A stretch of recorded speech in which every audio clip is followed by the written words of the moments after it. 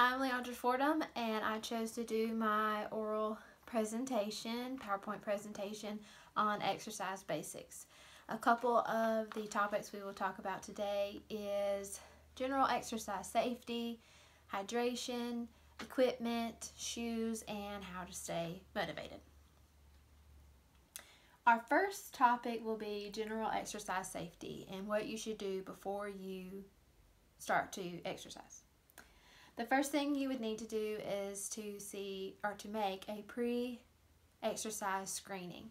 This is important especially if you have any um, previous injuries, um, any health concerns as in like uh, chest or lungs, respiration concerns, or if you've had any surgeries, um, heart concerns, you would just need to go and talk to your doctor and see if there's any precautions you need to be taking before you start a certain exercise um, routine. The next thing is learn the techniques. In any kind of exercise that you will be doing, you need to, to know what to expect, whether it's weightlifting, CrossFit, um, yoga, Pilates, anything that you get into, you need to at least know what to expect before you go and start on this new exercise journey. Um, the next thing is find a qualified instructor, whether this is a one-on-one instructor or a um, group setting. Do your research. Make sure that these people know what they're talking about, that they are certified to teach these classes because if you go into a class um, and these people don't know what they're talking about, then they can actually injure you, give you false information. So do your research and find a qualified instructor. Next um, is injury risk. Uh, if you have had previous surgeries or you've had severe injuries to any of your joints, your muscles, bones, anything like that, you need to know what type of exercises might agitate these injuries or these um, just that might agitate your injuries may re-injure that injury so make sure you know have the knowledge of what exercise would be best for you if you've already had pre-existing injuries or if just in injuries in general that these exercises might cause. Next, um, learn the modifications. Every exercise has a modification, um, whether it's a completely different movement or it's slowing the speed down on an exercise, your instructor should be able to tell you what the modifications are because exercise should be for anybody at any level. So whether you're a beginner um, or advanced, you should know the modifications of every exercise. Lastly is recovery day. Your body needs time to recover.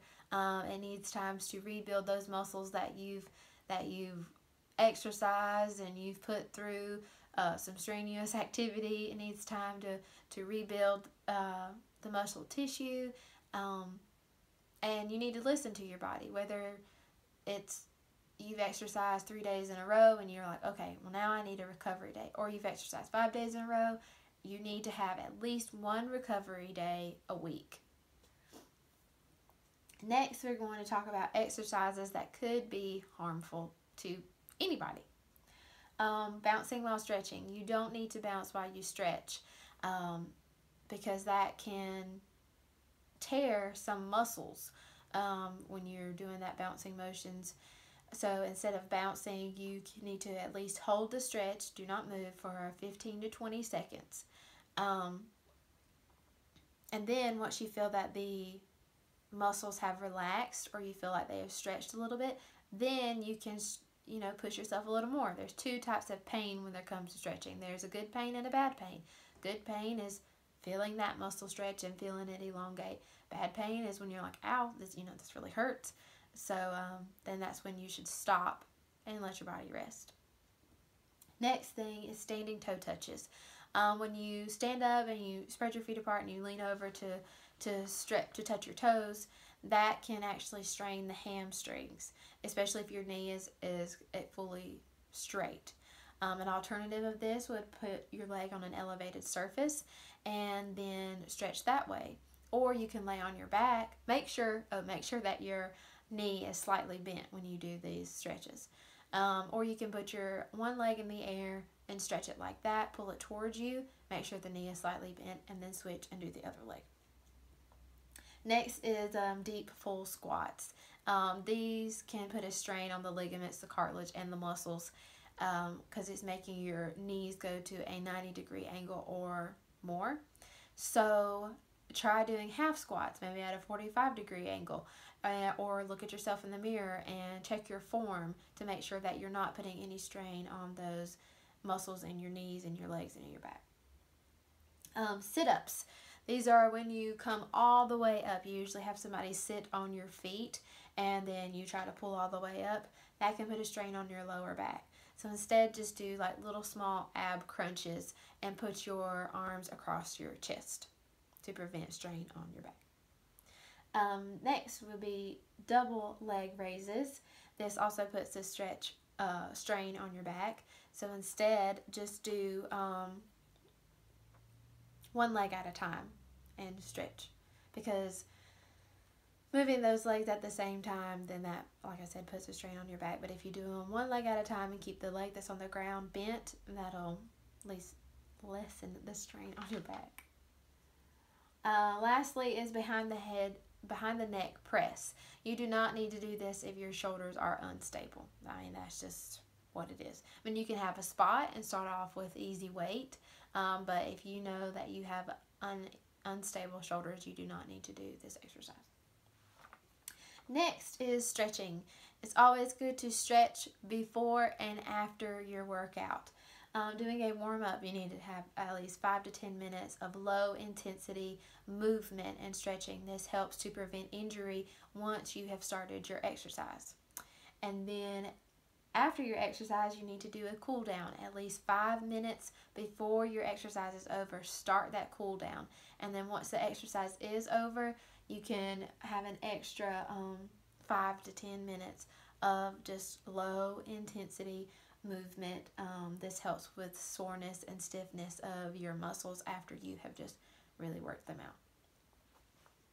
Um, next is exercising in hot weather, the symptoms of overheating. Um, you have irritability, general discomfort, weakness, headache, nausea, and cramps. Uh, so these are signs if you're exercising in a hot environment that you would need to look out for. Once you start feeling these things, it would be great for you to just maybe slow the exercise down, do a modification of the exercise, listen to your body. You know when your body, if you know your body, you should know when it's starting to feel like it's um, overheating. And the next thing is how to avoid these symptoms. Drink plenty of water before and during and after your exercise. You need to stay hydrated. Also, you can wear lightweight clothes, um, especially if you're in a hot, hot, if you're exercising outside or maybe you're doing hot yoga or something.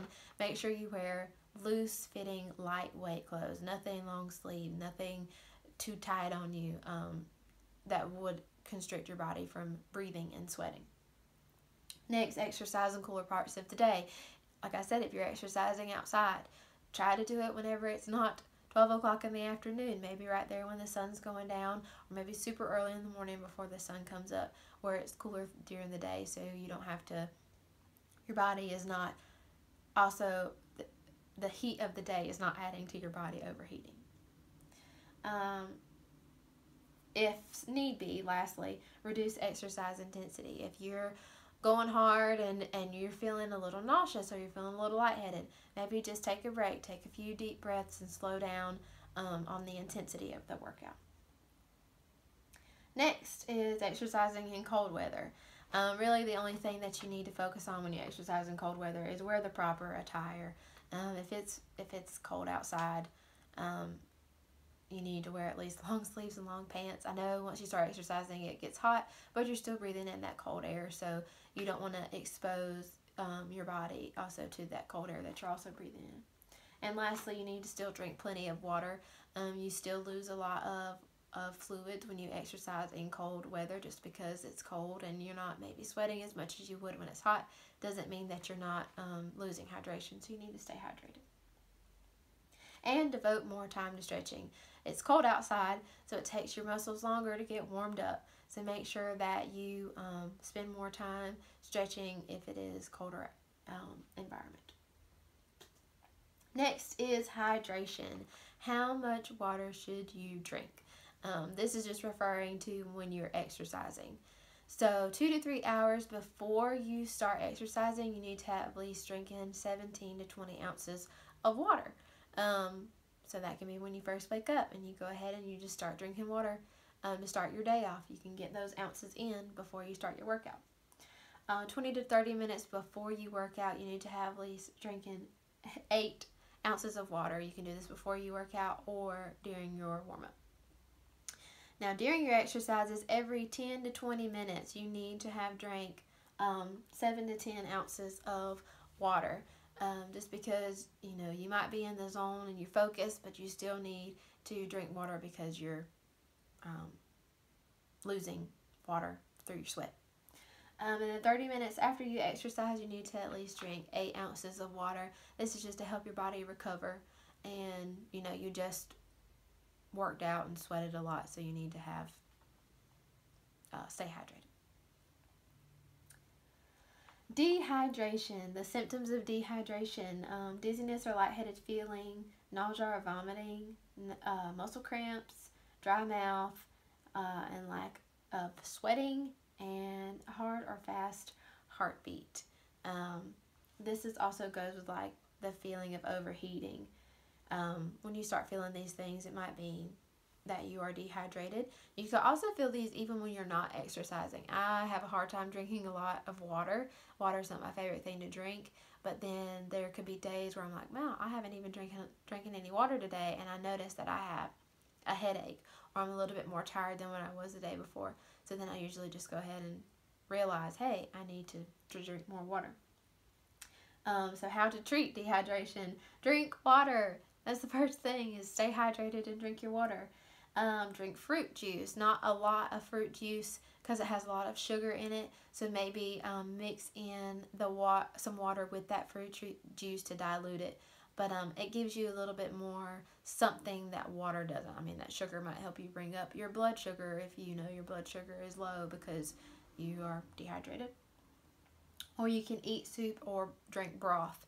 Um, this also just gives a little bit more substance than what water doesn't have. Next, we're going to talk about sports drinks, the advantages and disadvantages of sports drinks. Some of the advantages of sports drinks is it rebuilds your electrolytes. When you exercise, um, you lose electrolytes. So drinking sport drinks helps to reboot those electrolytes because water does not have electrolytes in it unless you find us water that clearly says it helps with has electrolytes. Um, drinking sports drinks helps build those up and helps replenish your fluids that you've lost during exercise. Um, some of the disadvantages is it has a high um, sugar content. So, if you're not doing an intense exercise and you really don't need to be drinking um, sports drinks because that sugar is just going to sit there. You're not burning it up. You're not, your body's not burning it up and using it for energy. It's just going to sit there and, I guess, do nothing. No benefits for you. So, if you're doing low intensity workout, your best bet is to stick with just water. But high intensity, where you're burning a lot of fluids and um, water, then sports drinks are a good way to keep you hydrated and keep your blood sugar um, up. Here's a few pictures. Powerade, Body Armor, and Gatorade. I like to drink. I just got into drinking Body Armor. I really like it. Um, it's not as sweet as Gatorade and Powerade. Um, next, we're going to talk about equipment for beginners. Um, if you're just beginning to work out, these are a few things that um, might can help you.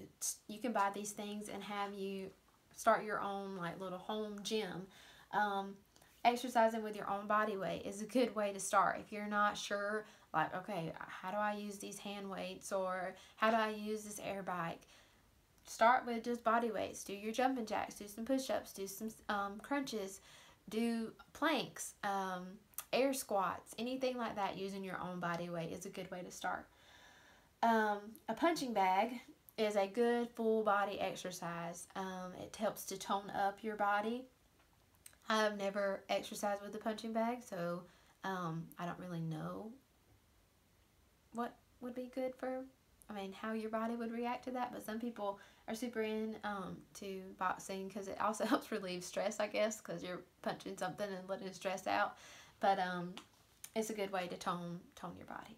Have an exercise mat. If you're going to do body weight exercises, then you might need a mat. I mean, it helps with um, knee, like when if you need to do exercise down on your knee, you have a little bit of, of cushioning on your knees or on your elbows, like when you're doing planks and stuff. It's good for to have this when you do yoga or Pilates. Um, a lot of flexibility movement is used when you have the exercise mat. Um, an air bike is just good for cardio. Um, most of the time, you're just moving your hands, I mean your arms and your legs. So um, that's helped getting your your heart rate up. Um, free weights uh, is a good thing just to have in your house. Um, easy to pick up. You can start off with a little two pounds, or you can work your way up to fifty pounds, whatever whatever you feel comfortable with. But um, you can use free weights in any type of exercise. And then uh, adjustable weight bench.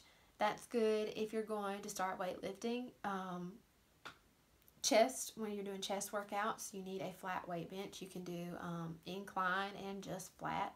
You can also use it for some leg workouts.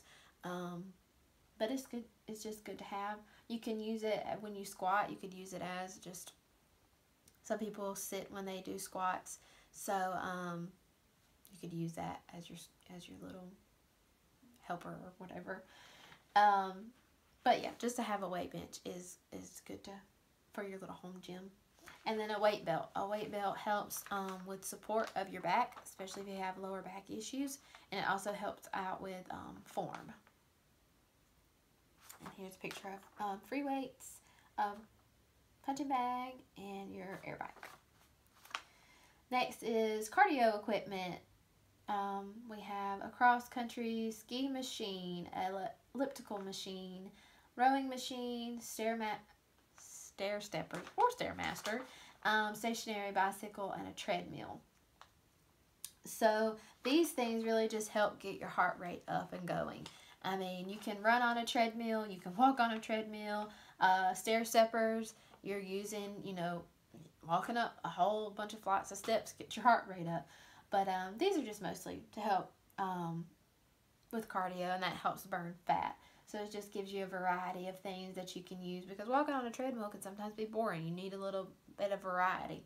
Um, but here's a couple of, this is a row machine that is a stair um, stepper and an elliptical. Next is strength uh, equipment. So you have ankle weights, exercise mat, hand weights, and resistance bands. Um, if you're not using just regular, I mean, free weights, like if you go to a gym, um, then these are some alternatives that you can have at home with your ankle weights and your resistance bands and your hand weights. These help, especially the resistance band, help the muscles, you know, work a little bit harder because they have that resistance. Um, ankle weights you can use in any exercise, even with walk, just walking, even with hand weights. If you just want to walk with hand weights, um, those help tone up those muscles um, and help target a little bit of those smaller muscles. Next are shoes. There's quite a few different types of shoes. Um, cross training, weightlifting, court shoes, running, walking, and cycling. Uh, cross training shoes is like for CrossFit. So um, there's a lot of different things that you do with CrossFit, and sometimes you just need um, a flat bottom shoe to help with movement and stability. Um, I know CrossFit they're they're just a little wild, so they need a shoe that can accommodate um, their exercises. Uh, weightlifting shoes usually have a little bit of a, uh, wedge or a stack or something. Helps with a range of ankle motion and helps you get into a deeper squat um, when you are doing squats with, with heavy weight. Um, court shoes, that can be basketball shoes, um, tennis shoes, uh, volleyball shoes, whatever. Those shoes are needed for um, to be st stable, flexible and traction because you're moving all, all across the court, so you need that traction to help you not slip. You need that flexibility because you are moving in all different kinds of directions in quick motions. But you also need um, that stability for your ankles or just for your foot in general. So that way, when you do make those fast motions, you're not rolling your ankle or anything like that. Um, running shoes, they usually have a heel or arch support um, and a lot of cushioning. Um, avid runners know exactly what kind of shoe to use. I am not an avid runner. Um, but you need something super lightweight also. You don't want to be running and carrying around a five pound shoe. I mean, that's just a little extreme. Um, walking shoes are a lot more flexible. Um, they have a fuller range of motion for the heel toe um, movement that you do when you walk. You also would probably want some arch support in your walking shoes. And then cycling shoes, um, you can use these for just stationary bikes or regular bikes. You would need to see what your pedals look like and what kind of shoe would accommodate the bike that you are um, using for cycling. But they clip on and um, they're help for stability so that way you don't, while you're pedaling, you don't, your foot doesn't slip off of the bike. And here's a couple of it, or here's some examples of a CrossFit shoe. The it uh, the sole is flat. Um, cycling shoes, you see they have these little treads on them. It helps you clip into the to the pedals, and that way you have a little bit more traction and leverage, so your foot doesn't slip off of the pedal. These are just um, basketball shoes. Notice they have a lot of grip on the bottom, and the high ankle part helps with that ankle stability, so you're not rolling your ankle. Um, walking shoes, just plain old walking shoes. Um, running shoes, Nike, you know, they're uh, known for having a lot of lightweight shoes. Um, and then these are the weightlifting shoes. You see, they have that little wedge right there to help with ankle, um, a wider ankle range when lifting weight. And last but not least, we're going to talk about motivation. Um, how to stay motivated. First off, you should write down your goals, whether it's you want to look a certain way, you want to weigh a certain weight, um, you want to eat better. You need to write down your goals of, of what you're trying to achieve and post them. Post them all around your house, wherever you need them to go, um, so that you remember, like, okay, this is what I'm working for. This is what I want to do. This is what's going to make me feel a little bit more confident in my body. So just write those down and and keep reminding yourself of what your goals are. Um, find people to hold you accountable. Um, find that friend who is also trying to reach certain exercise or weight goals, and um, y'all stick together and text each other and just be like, "Hey, you know, did you work out today? Hey, what did you eat today?" Um, don't don't have that don't ask that friend who doesn't work out and is just lazy and doesn't really care about their health or their weight. Don't have them as your accountability partner. Find someone who's on the same mindset as you. Um, commit to a specific program.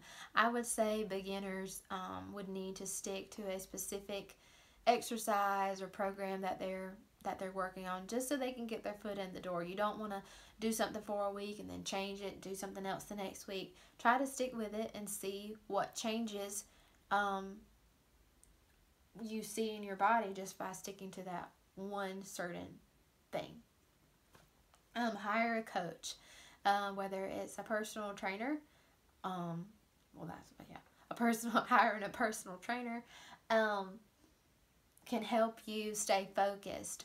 Um, they can help you reach your goals. They can also help you stay accountable.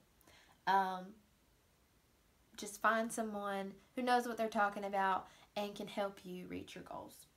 Next is vary your training. Once, I would say, once you have established a certain exercise routine and then you've kind of plateaued, like you're really not losing weight or you're not seeing your body change like you want it to after you've done something for a couple weeks, then maybe talk to your coach about, hey, what's something else I can do to help me um, tone up my legs or, you know, uh, lose some more fat or anything. Um, ask them, ask some advice first before you just completely change and realize that, oh, this certain workout is not for me.